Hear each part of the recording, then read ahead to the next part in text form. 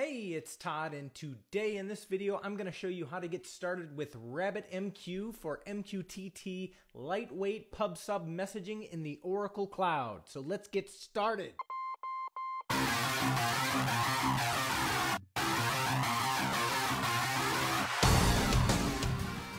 Alright, so like I said in this video, I want to show you how to get started with RabbitMQ in a virtual instance in the Oracle Cloud.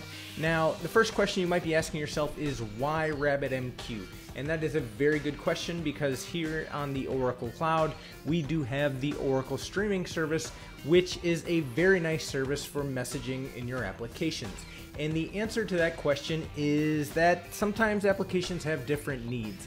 And lately I've been doing a lot of work with uh, IoT devices and IoT devices just naturally work a little bit better with MQTT. It's much lighter weight, and there's native clients that you could use for your IoT devices like Arduino that can speak PubSub uh, with an MQTT topic.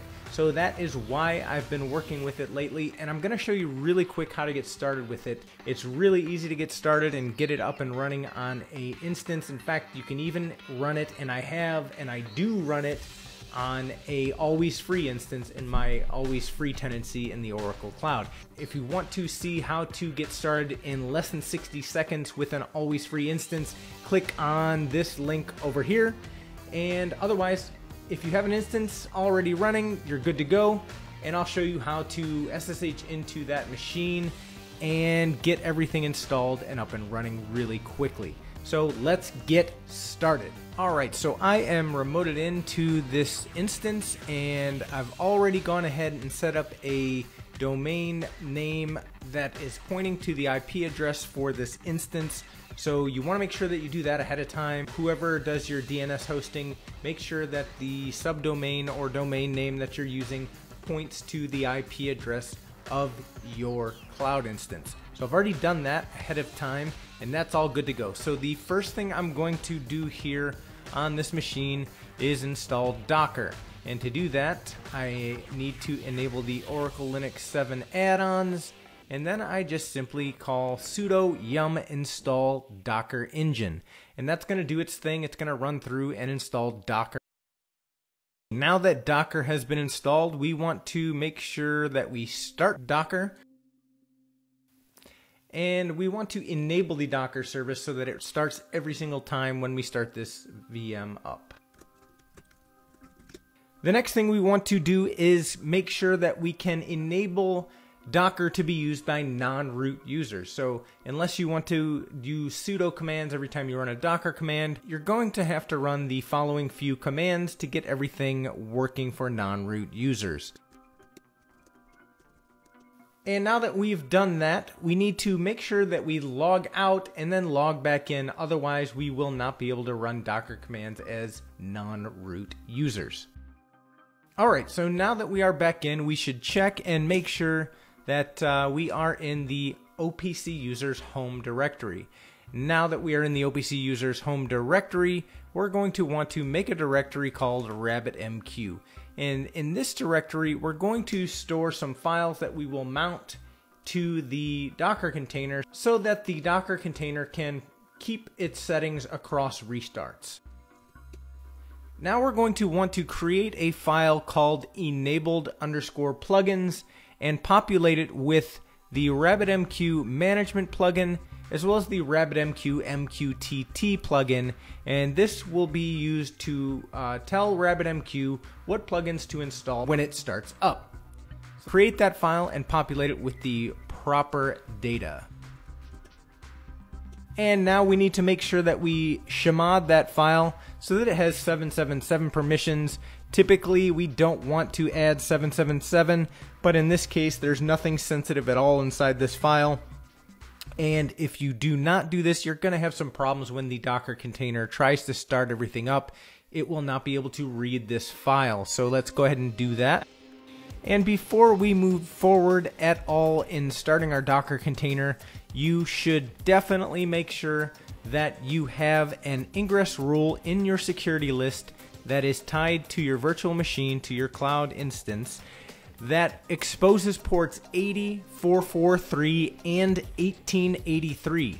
These ports are necessary for HTTP, HTTPS traffic, as well as your MQTT traffic, which is on port 1883. If you do not add these ingress rules, you will be unable to access the web management UI, as well as be unable to pass any traffic through your MQTT broker. Alright, back in our SSH session for our RabbitMQ instance, we're finally ready to run our Docker container and I have the proper Docker statement here pasted in and I want to walk through one step at a time to kind of show you what is going on here. So the first line here we have docker run dash d. Dash D just means uh, to run the container in daemon mode, which is basically in the background um, there will be no console output here. It is just going to fire it up and return control back to the shell. Uh, the next line here is restart always. This means that every time Docker restarts, in other words, maybe you've rebooted the virtual machine, this container will always restart. Uh, the next line, host name. This tells RabbitMQ what our host name is. It's important that we add that. The next line down, we're exposing some ports here. Port 15672 is what RabbitMQ uses for its web-based admin tool. So that is the port inside the Docker container. I'm exposing that outside the Docker container on port 80 so that I can just hit the domain name directly without a port name in the web browser and I'll be able to hit that uh, without adding the port name.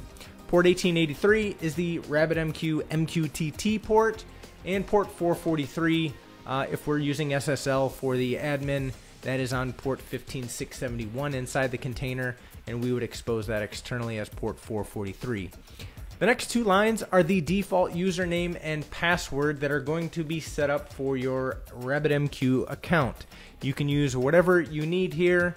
It is a nice way to pass these credentials in up front and not have to worry about setting them uh, via command line after the after the fact. The next two lines are mounting two different volumes. The first one is the enabled plugins file that we create, and that is mounted in Etsy RabbitMQ enabled plugins, and that is so that RabbitMQ can pick that file up and know what to do, know what it needs to install when it starts up. The next line is mounting a local directory, that RabbitMQ directory, to var lib RabbitMQ inside the container. And again, this is so it RabbitMQ can persist those uh, database files and every all its settings and configurations. Uh, it can persist those across restarts. It stores those on your VM's uh, local drive. In the next line, we have name RabbitMQ. This is just a friendly way to refer to this with our Docker commands later on. And then finally, on the last line is the actual Docker image that we're going to pull and use, and that is the RabbitMQ 3-management tag. So if we run that, and now that the container has been created, we can check and see docker ps-a. We could see that it was created 11 seconds ago and it's been up for 7 seconds. We're going to want to start checking uh, probably within about a minute, but we're going to want to check the docker logs for that container. In this case, we could refer to the name RabbitMQ. After about a minute, RabbitMQ will be up and running and ready to go. So, as we can see here, according to our logs, the server startup is complete and the plugins RabbitMQ Management, Web Dispatch Management Agent, and MQTT have been installed and we are ready to start working with MQTT on our instance. So if we head over to our browser and we hit the domain name that we've set up, in this case rabbitmq-demo.toddrsharp.com, we are able to log into the admin console. So once we do that, we can go through and take a look at all the different tabs and manage our instance as needed. And we're set up and we're ready to go. So then the final thing to do here is to test out the MQTT functionality on that machine. So let's hop back over to the console and use Mosquitto Sub and Mosquitto Pub to publish and subscribe to a topic and test things out. Back in our terminal, you can see here that we can now use Mosquitto Sub and Mosquitto Pub to publish and subscribe to a topic on this brand new RabbitMQ instance that we've just installed and turned up. So on the top console here, we have a call to Mosquitto Sub.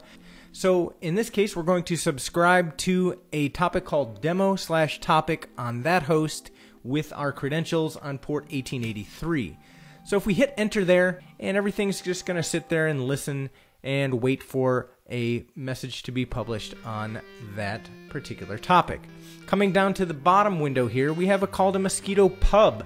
Also on that demo slash topic, at the same host with the same credentials on the same port, and the dash M switch being our actual message that we're going to publish. So if we hit enter here, we should see the message passed to the subscription.